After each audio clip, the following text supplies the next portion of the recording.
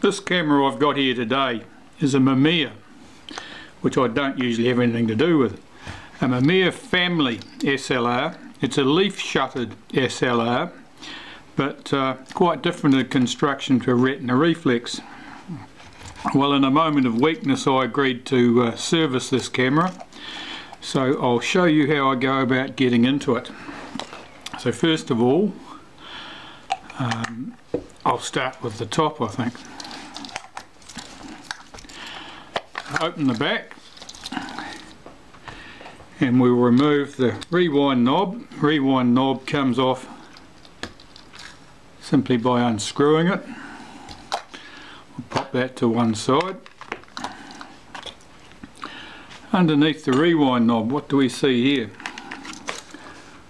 There's three screws here holding the meter dials on the top, so we'll have those out. Do I even need to do that? I might not. There's a single screw here that holds the top cover on. We'll see if that will come out by itself. If it does, we don't need to disturb those other three at the moment. They can be dealt with later. There's a single screw at the end of the top housing here. I'll get that.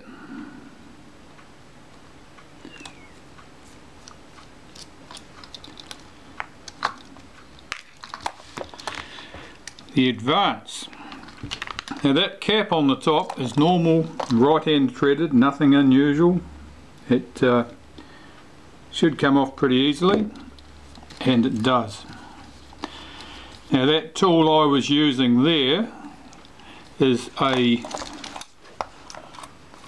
pair of uh, circlip pliers or and uh, that's what it was made made for doing circlips those spring clips the tips on these have been ground and mutilated and actually to tell the truth they need to be reshaped they're getting a bit ugly so we can lift off the uh, stuff from the top of the film advance there's only a few components there. Nothing particularly tricky. It's just a bit sticky, I don't know why that is. I imagine that the uh, top of that boss has uh, got a bit spread. Alright, so that's the screws off the top. The top cover in theory should come off now.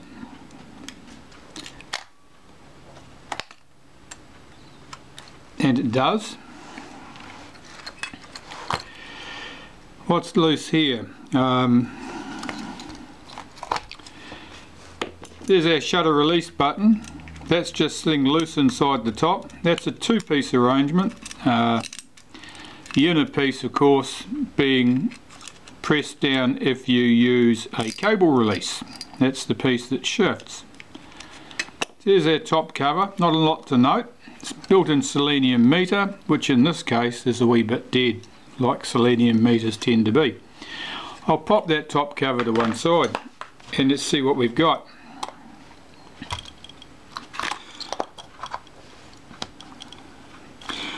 Alright, fairly standard arrangement.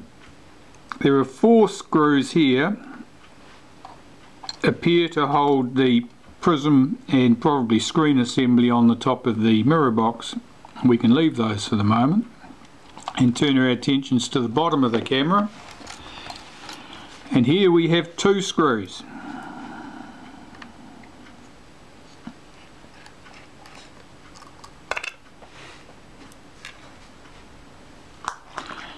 pop the screws to one side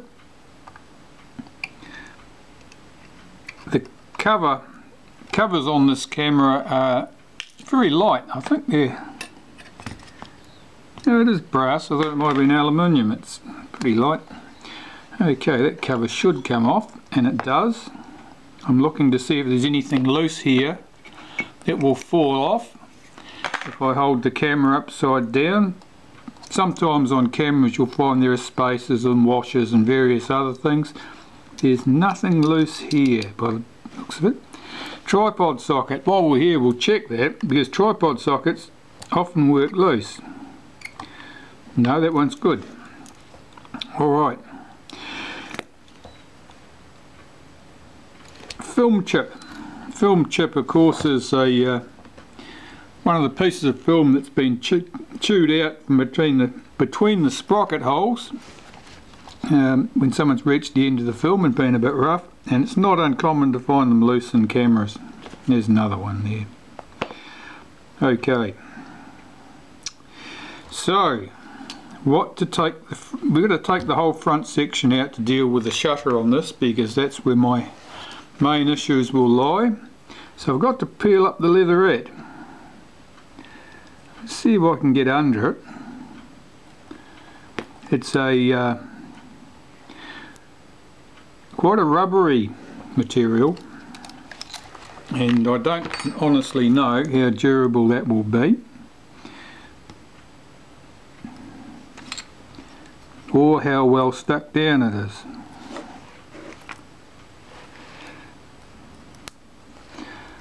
Right, well, I can peel it back a little bit here. Far enough to get at those screws. That's enough. I can investigate getting it back further at a later date. On this side, can we get under the leatherette? Here I'm just using the pointed tip of my pair of tweezers to get under that edge and if I can get under that then I can peel it back with something else it looks like I can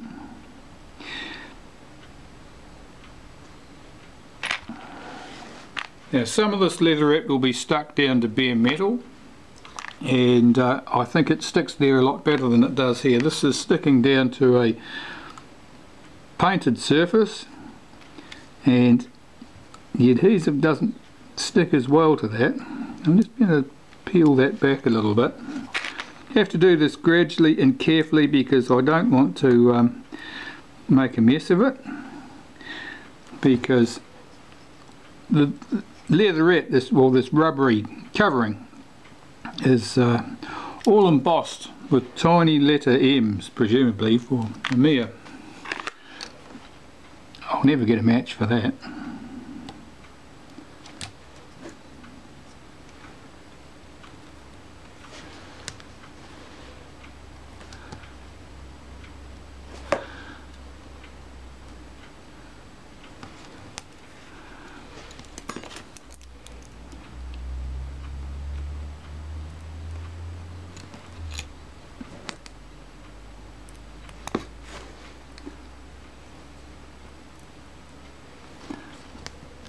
Alright, just about pulled that back far enough as far as the, the seam so I can get at the screws.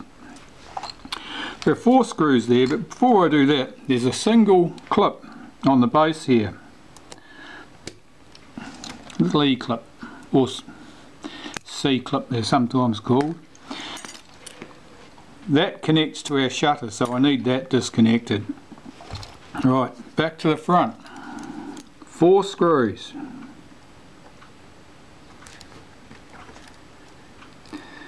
Now it's well stuck. That's better.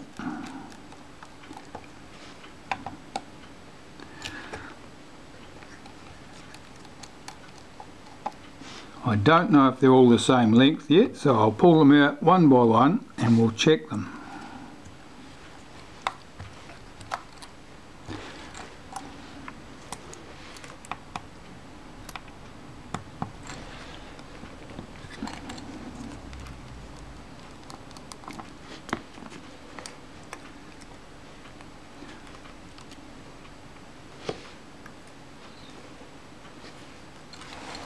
They're all the same. Four identical screws, brass screws, they can just pop over there out of harm's way. Right, so I think the front of the camera should come off. And it does.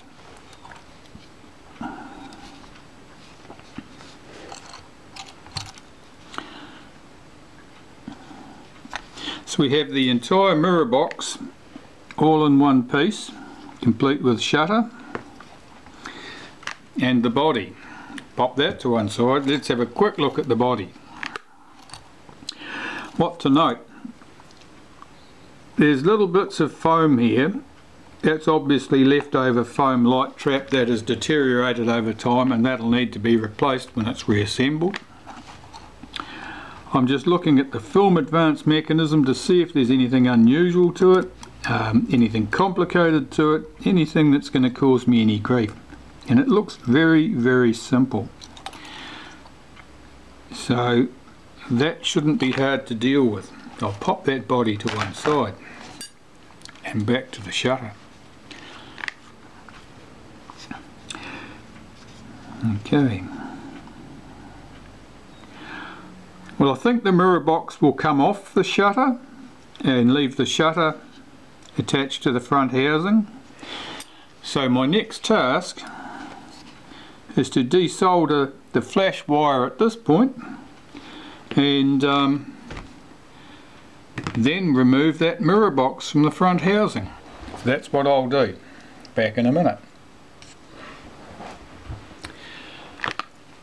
All the wires desoldered. Now I'm looking to see what I need to take apart. Two brass screws here and here. And they're held in place with some sort of lacquer, like a varnish. Take that out. This one here. That has a little tab on it which is holding down that flash sync wire which comes from all the way over the other side of the camera over here. So those two screws are out. The next two are these ones down in here. That one's loose. That would have meant uh, that potentially the shutter wasn't fixed rigidly to the mirror box but the other, since the other three screws were quite tight. It probably didn't make much difference. So I'll remove those screws.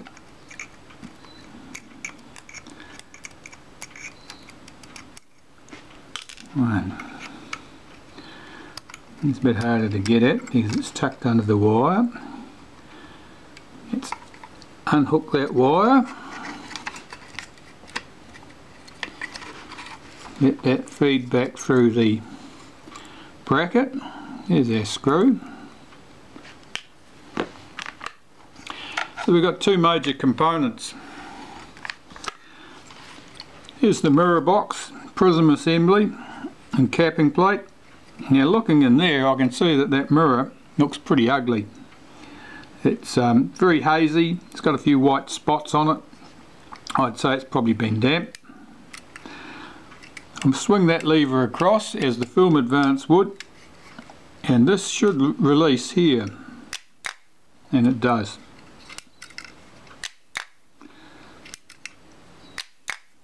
So the mirror box is working well. It certainly probably can do with a bit of cleaning up, a bit of lubrication perhaps but basically it functions. The mirror doesn't look stunning and uh, I'll have to see if I can clean it. Pop that to one side. Let's have a look at what we've got here. So here we have the shutter assembly. Um, the rear lens element is here.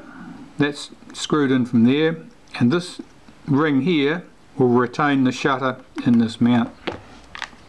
So have I got any tools to get that off? I think so. Let's try this. There's a spanner wrench. It's a, a relatively cheap one. I think it came from India.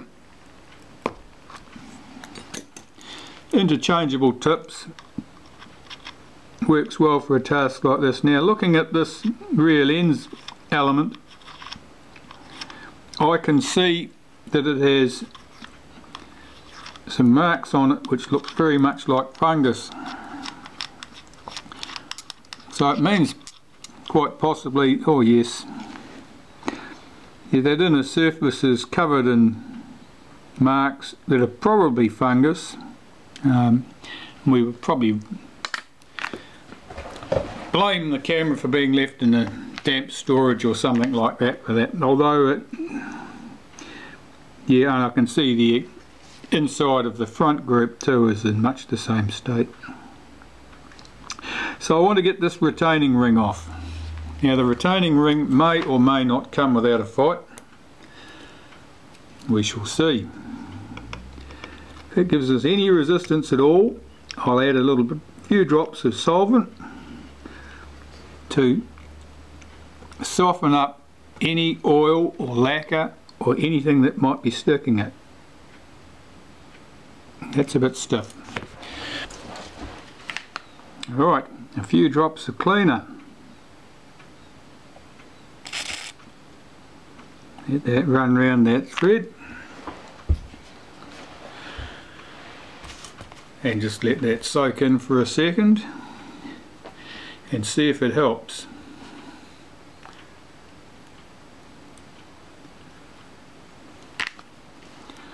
Back to the tools.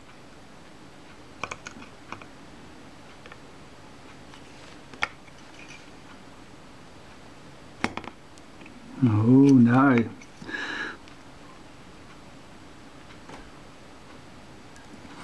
That does not want to move. I'll try a bit of acetone.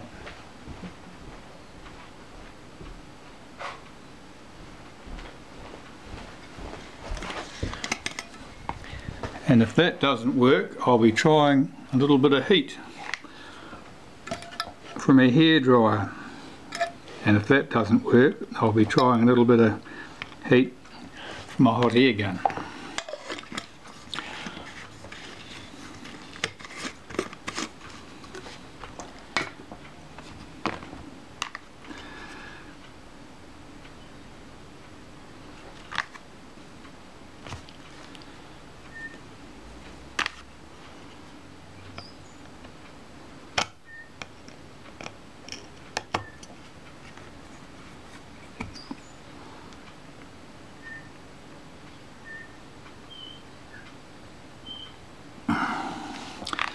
That does not work. Try time for some heat. Well I've warmed that up. Let's see if it'll go now.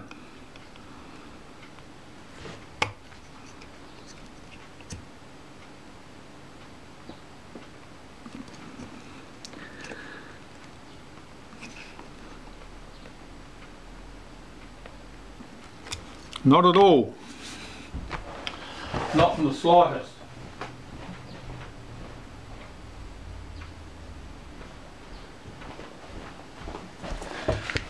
That's a bother and a nuisance.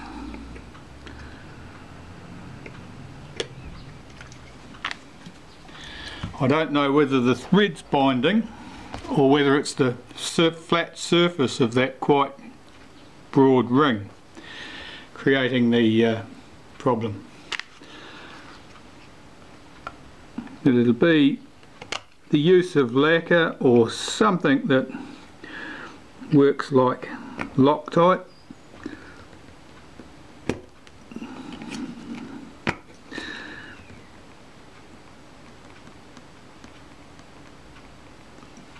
Nope, it's not going to go.